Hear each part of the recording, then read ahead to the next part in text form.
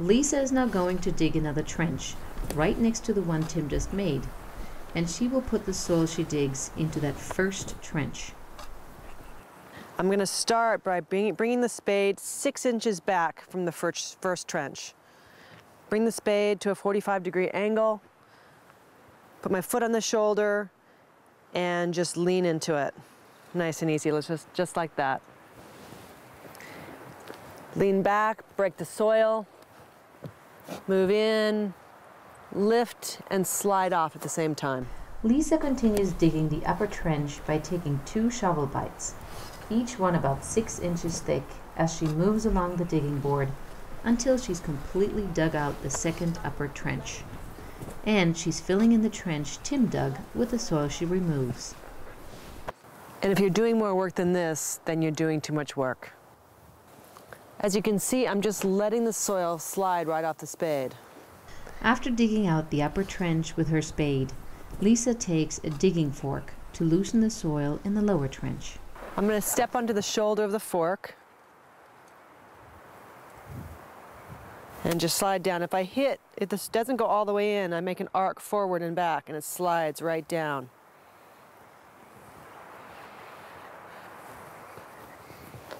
Shift the fork back, come around, slide back eight inches, and do it again.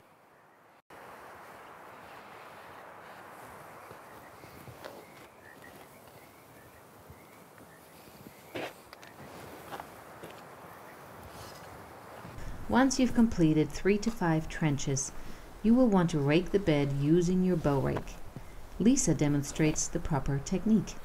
A lot of people, when they go to rake, they want to use a lot of effort like this, and it's really not necessary. You can just reach out and shift your body weight back and rake over the top, just like this. And you don't have to worry too much about the clods. Just even out the soil a little bit. The water and the sun will break down the clods naturally. Because of the double digging, there's more air in the soil and more volume of soil overall. Remember the soil that was put into buckets when Tim dug the first upper trench? You can use that same soil to fill in the final trench in your bed. Now that you've finished the trenching process, it's time to smooth and level the bed. Once again, you'll use your bow rake, making easy, smooth strokes throughout the bed. It's important to do this before you add the fertilizer and compost in the next step. We're leveling the bed now because after we've applied the fertilizers and the compost and they've been sifted in, we don't want to have to reshape the bed final time. Tim and Lisa will now be adding organic fertilizer to the bed. This is a fertilizer. It's pure alfalfa meal. This adds nitrogen, calcium, and other trace minerals to the soil, and I'm going to show you how to apply it. I'm going to take about a third of what I have total, and I'm going to apply it. We've got some wind, so I'm going to be very close to the soil, and I'm going to do half of this area. I'm going to work in a real easy pattern here. Then I'm going to come to the other side.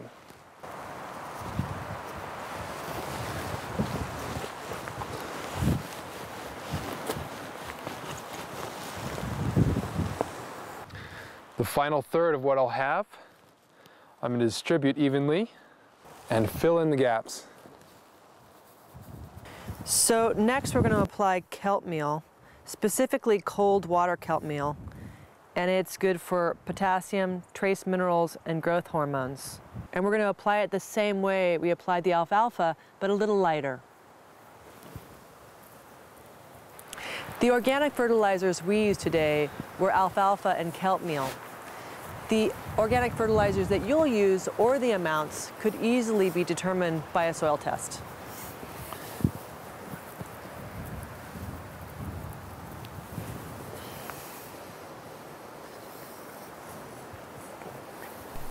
Now it's time to apply compost to your soil. You need to apply between a quarter and a half inch of compost to the surface of your bed. Watch as Tim and Lisa evenly distribute the compost. When beginning a new garden, you may not have had the chance to build your own compost. In that case, you may need to import some compost. The goal, however, is to build your own. For the critical step of incorporating the fertilizer and compost into the upper two to four inches of soil, here are three easy to learn techniques. First, Tim shows us the rake chop method. It looks like this. I'm not moving the soil, just gently breaking up the dirt clods.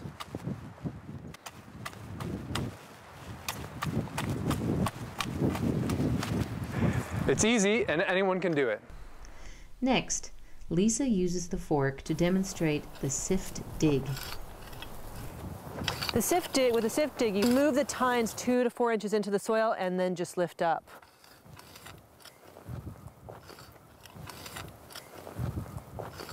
Tim comes back with a fork to show us his favorite, the twist dig.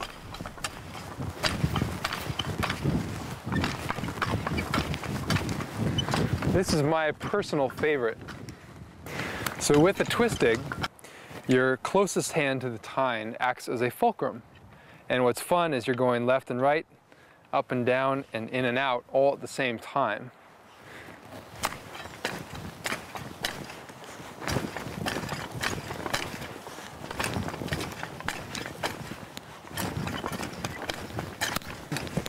It's so fun. Once we've finished incorporating the compost, the bed is ready to be planted. If this is not going to happen right away, then we water the bed. You want to water like a soft rain. The edges of the bed dry out twice as fast, so we're going to water the edges twice as much.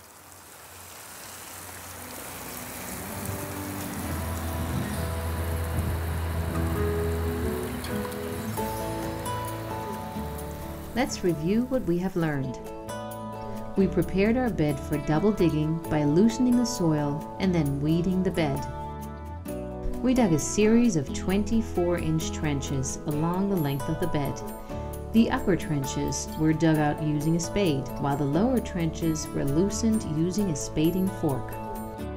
As we continued to double dig down the length of the bed, we repeated the process of digging and loosening each trench. After three to five trenches, we raked the bed. Once the trenching process was complete, we leveled and shaped the bed using a bow rake. After the bed was leveled, we added the organic fertilizer and compost.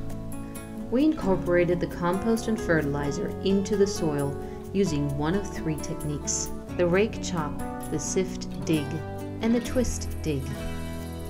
Once we've finished incorporating the compost, the bed is ready to be planted. If this is not going to happen right away, then we water the bed. Double digging is essential to the biointensive method because we are growing healthy soil as well as healthy plants.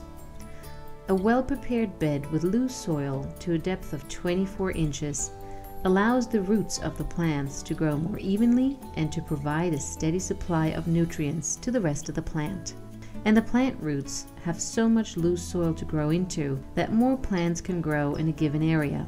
This means more food from a small garden. These ones are the tree collards. We had them for dinner last night. Oh yeah, I remember those. Those were good. They're great.